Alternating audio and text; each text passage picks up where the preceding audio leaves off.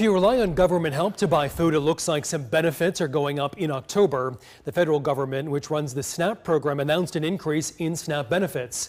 Our Miles Hood is here with us tonight to tell us, Miles, how some of that relief is on the way.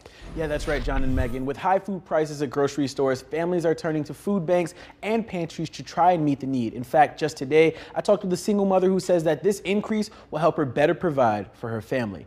Now, the new maximum SNAP benefit for one person will be $291. And another example for a family of four, they'll get $973. Now, SNAP benefits are determined by how much a household makes per month and the number of people living there, meaning for a single person, you qualify if you make about $1,500 or less a month, while a family of four can make up to 3,250. Now, thousands of Mainers lost a big chunk of their food money when pandemic era benefits ended earlier this year. And that mother that I talked to, well, she's happy to see the increase.